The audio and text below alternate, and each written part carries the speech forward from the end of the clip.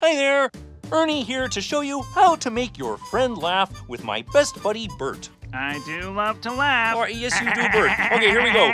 First step to make your friend laugh is to put on a pair of silly glasses. Here we go. Come on, Bert, step over here. Hmm? Here we go. Ernie, Okay, Ernie, what are you doing?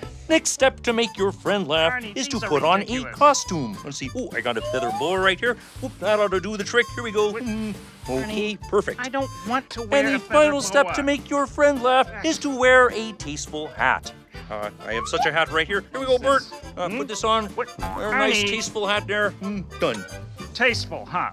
Oh, uh, sure, Bert. Yeah, you could wear that to a wedding or a, a fancy dinner party. Ernie! Ernie, how is any of this going to make me, your friend, laugh? Well, it's not going to make you laugh, Bert, but it sure does make your friend Ernie laugh. Oh, if you can see yourself, Bert.